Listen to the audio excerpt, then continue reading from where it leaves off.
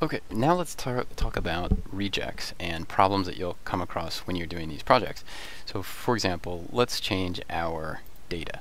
And let's say we know that employee ID is a column that is defined as an integer. So now let's say I make a new row and I mess up. And uh, well, first of all, let's say that this is Tom Parsons, for example. And then I say, well, I mm, this should be a 3, but I'm going to put an R in there just because the data is, is not is dirty, that's not accurate. So I'm going to save that. And now I'm going to rerun the same job and see what we get. I'm going to click on run. And remember blue means that the system or the engine is processing the orchestrate code. And in a second we should see the output. And also, if you want to check the details of when it last ran, of course, you can always come back in here. You'll see 903, there it is, finished the job test, and it had no error messages. Okay, so there is in fact a clue that we sort of overlooked here. Take a look. There's although there's no error on our screen here, and there really is no error here, we are getting warning messages that are important. Take a look. It says import unsuccessful at record 2. And more than that, it says we had, here let me zoom in so you can see this better field employee ID has import error and no default value set. So this is not surprising, but we're not handling it. So we need to determine what to do when there's a problem. And remember earlier we had right-clicked on our CSV file and then we had gone to, uh, when we let go, we had created a, a link. Well, there's various kinds of links. We just created the most simple link. If you right-click on the link, you can see this. Um, the other options we have are convert to a reference link and convert to a reject link. The link we have right now is called a stream link because it's streaming the data from our input off to our output. But what we want to do is find out what's going on with when there are rejects. We, we don't want to drop rejects. So uh, we're going to right drag from CSV and we're going to just sort of put it here, let go here. And what we want is another file. In this case, let's drag over a sequential file. Same as before, we want that to snap on top by dragging it over the head, of the arrow. And then take a look at what's happened here. We have this first link was a solid line. That indicates it's a stream. But this dashed line indicates a different kind of link. In this case, it's a rejects link. And you can sort of get that from looking here. You can convert it to a stream. And watch what happens if we try that. We're going to get an error. It says the source stage cannot support any more output links. And if you tried to right click and change that to a reference link, you would also get an error message because that is not possible. And so this is where you need to know the different kinds of links. So as I said before, if it's a solid line, you have a source, a stream link it's called. So from your source to your target is a stream when solid. And if it's dashed like this, it is a reference link. But if it has double dashes, then you're looking at a reject link and indeed we see this is a little bit difficult to see because you need to zoom in a bit more to, to see the double dashing but that is a rejects link. And a lot of times if without zooming in you can just like I said right click and see the other options so um, that way by process of elimination you can figure out what it is. In any case we want to rename this. And a simple way to do that is I'm just going to call this rejects. And the same with the link here which is in a bit strange location so I'm going to move that down here. Same thing I'm going to right click in this one and call it rejects and you cannot repeat the name of a stage. So you can't have two stages with exactly the same name for the link or uh, sorry for the name of the stage but you can for links. That's okay. And so I tend to name these the same if I don't rename the link in or out. Okay now double clicking on the rejects link. This is just a standard sequential file like we've been dealing with before. So same thing here. We want to go to file. We want to go to browse for a file. And I'm just going to create a new one unsurprisingly called rejects, but do include CSV there, so you don't get, uh, so it's very clear what's going on. Same thing as before, first line is column names should be set to true, and again, under the Format tab, go to Field Defaults and Null Field Value, and just set that so that we don't have trouble with that. Uh, nulls, if you have any nulls involved, which we don't in our file yet. Alright, now, let's rerun this, and think while this is running about what you would expect to see. I'm just going to try to make that a little straighter. Sometimes you'll notice too it's a little difficult to do that and if you kind of mess with it enough you can, but uh, in this case it really doesn't matter. I'm going to have them angle out like that. Okay, now we'll compile this.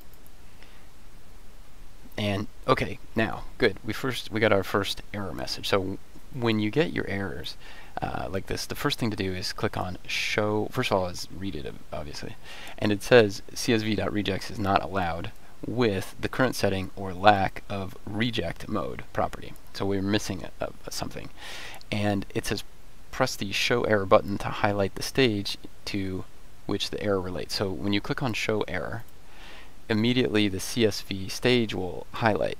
In this example, it's not particularly difficult, but if you have 15, 20 stages, you'll definitely find that to be useful. And sometimes you'll see a more icon, this, this more uh, button will be lit and you can get the actual error message issued by Orchestrate. Okay, in this case, I'm just going to click on close.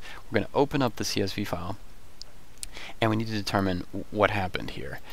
In the case of data that needs to be, uh, that you want to reject, you very often need to, especially in these, obviously in this case, you need to tell the system where, what to do with rejects. And the place to do that is under the Output tab, and then go to Properties.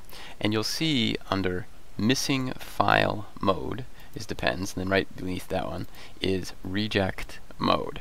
So by default it's set to continue, and continue, you can see here, it's uh, we'll simply discard any any rejected rows, and that's exactly what happened because we have three lines, but it told us we only had two output, so that's exactly what it's doing.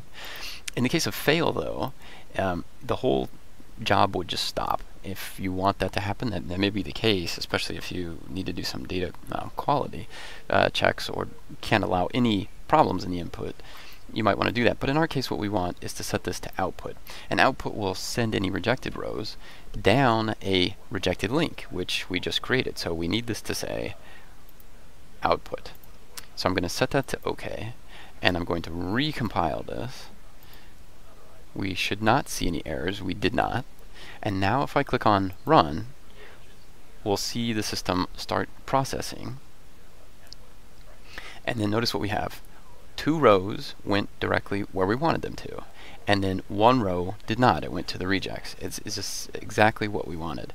Now, another trick here is that if you double click on rejects, and we saw this before, you can click on the view data and click on OK, but notice how long this takes. This is so slow that if you're, especially if you're first starting out, you probably want to handle this in a, in a slightly smarter, faster way. And uh, there it is. That's that's essentially what we wanted to see, and that's uh, that's great. Uh, it's a little strange looking, but okay, th there it is. So if we click on OK, we get that. Now, here's a faster way to get to that output.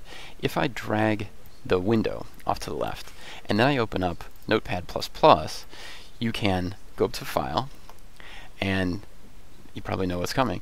I can open up the out.csv and the rejects.csv. And by doing that, look at this. So there we go rejected, Tom Parsons, and R. If I were to, let's say, add a new, uh, and then the same thing, by the way, applies to out. So right, we have all the lines, all the rows that were output are right here. And as soon as the data changes, Notepad++ Plus will pick up on that, and you can um, immediately see the output essentially in Notepad++ Plus without waiting on DataStage to, to grab the data. So let me give you another example. If, if I go uh, back to our employees and we make a brand new row, let's call it um, uh, Yelena, um, uh, let's say Smithwick, why not? And then we say that's uh, 3 or 4 maybe. Okay, if I rerun this, first of all, we need to recompile it. Um, and we're going to run it and then wait a second for that to process. And all the processing statistics, by the way, are in the director, so you can see all that. So this is this is what you would expect. Three rows were properly handled and sent off to our CSV. Two, our output, uh, out.csv, and then one went to the rejects. And just to clarify here, I'm going to uh, make this out so it's not so um, confusing. Make the out match the out. And now watch this. If I click on out, the tab, um, we're going to see this option in Notepad++ that says, hey, this file changed, do you want to reload it? And yes, we do. And there we go, it updated, and the same with out. Um, so same, actually, that was the rejects one. This is the out one. They both will update, and sure enough, we get essentially immediate feedback.